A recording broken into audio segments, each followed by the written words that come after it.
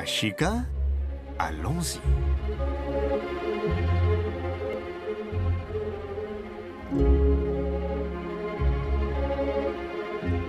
Montparnasse, al cor de la vida intel·lectual i artística del París de principis del segle XX.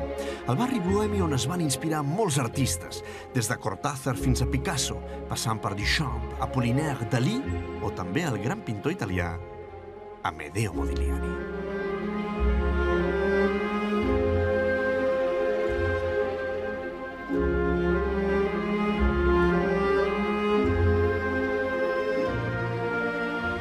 I per explicar-vos la increïble història d'amor entre el genial Modigliani i la seva musa Jeanne Boutin, he vingut fins a un dels llocs més màgics de la capital francesa, l'Escola Superior de Belles Arts de París, on un grup d'estudiants femenines estan pintant un model masculí nu.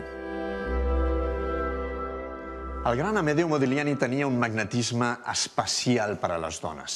Eh, les atreia. Modigliani, guapo, excessiu i passional, deia que pintar una dona és com despullar-la, com posseir-la. El 1917 va començar la seva famosa sèrie de quadres de dones nues reclinades. Mireu, com aquesta, aquesta altra. Sí, així com si fossin les majes de Goya.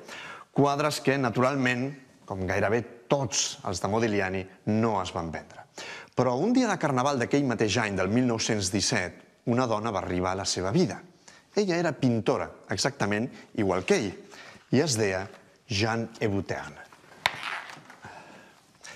La va conèixer quan ella tenia només 19 anys i era una tímida i delicada estudiant de l'antiga Acadèmia Colarossi, un lloc que ja no existeix. L'Acadèmia Colarossi era una escola molt especial perquè era pràcticament l'única acadèmia de belles arts a París que permetia a les estudiants femenines dibuixar i pintar models masculins nus, exactament com estem fent nosaltres ara. Bé, Modigliani i Jeanne Boutin es van enamorar. Ella es va convertir en la seva musa i ell la va pintar moltes, moltes, moltíssimes vegades. Però la qüestió és, com la va pintar? Vestida.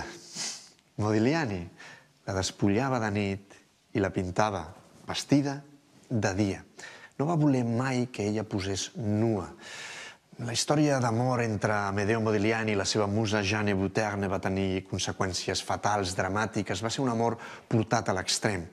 Però abans de que us expliqui el desenllaç d'aquesta història, deixeu-me que miri el que les nostres Jeannes i Boutins d'avui en dia estan fent amb el seu model masculí, amb el seu muso.